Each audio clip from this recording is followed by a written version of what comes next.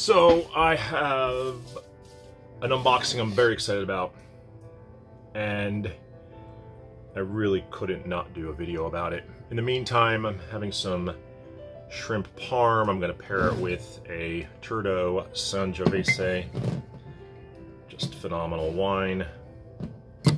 We've already spoken. The sadness that has engulfed me because they have sold the winery.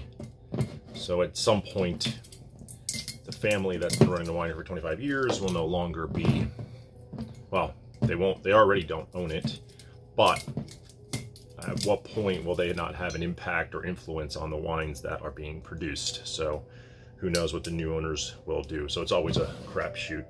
You know, Stony Hill, a great winery out of California got bought, but they retained everybody in there to make wine. Now, that's out of Napa. Stony Hill's got a very, very long history, longer than 25 years, I'm pretty sure. But either way, long time for both. So, I'm gonna pour some of this, go through this unboxing that I'm really excited about from Obsidian. Let's just have a quick taste. I do believe this thing, this wine absolutely needs decanting. It, it shows so much more depth after decanting. On previous vintages, I feel like the, this maple syrup component would come out, which was awesome.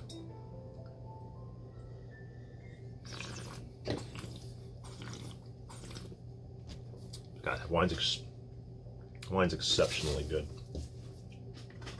That's so good. All right. So,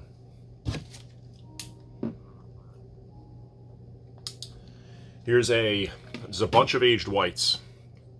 Poseidon's Boonsfly Hill from Carneros Napa 2011 Chardonnay. So it's going to be a pretty common theme here. Some aged white. Another Poseidon Mid-Year 2012 Estate Grown Chard. So not from the Boone's Fly, but from their estate grown.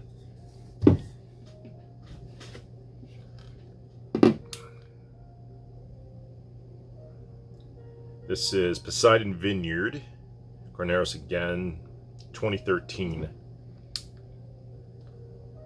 So a little different.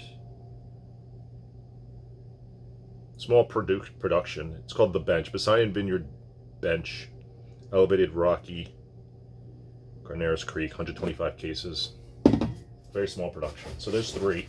Let's see what else is in here. It's a card.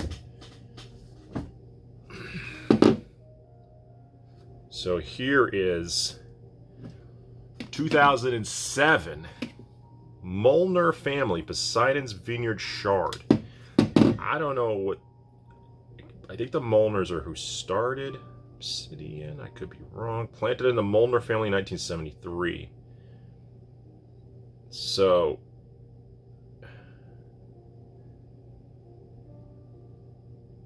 This could be from the Wente clone, that clone out of possible.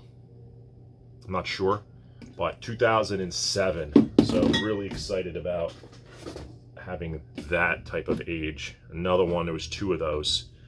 The only two left, I'm, I'm thinking. So I feel like I'm drinking some history there. And here's a red. So Obsidian also makes a Malbec, and I've never tried it. So this is their Nicholas Block Malbec 2021, Obsidian Ridge Vineyard. I don't know if there's much to talk about only 12 barrels produced, so that's still a lot of cases, but nonetheless, smaller production. Interested to see what Malbec does in this area of, is it Sonoma or is it Red Mountain? Red Hills Lake County, yeah. So it's Red Hills Lake County, same place they make their, their Cabernet. Got more. 2011, another Poseidon Boone's Fly. Just can't have enough aged white. So here is their, looks like they rebranded. Obsidian's, rebrand, uh, relabeled. Obsidian's Cuvée Cati, proprietary red wine. They used to call this the Chief. They changed it. They now call it Cuvée Cati. I forget exactly why. It named after? Formerly known as the Chief, we renamed this wine on the 50th anniversary and our mother Cati, our mother Cati. So maybe they named it after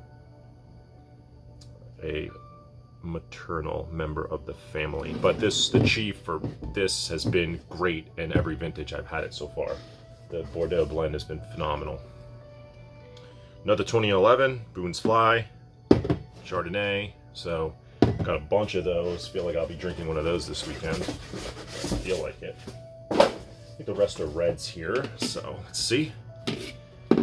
So they've also renamed their Cabernet to Volcanic Estate 2021. They've upped the price by a few bucks, but still, this wine is what got me into Obsidian. I think when you decant this, it just shows amazingly.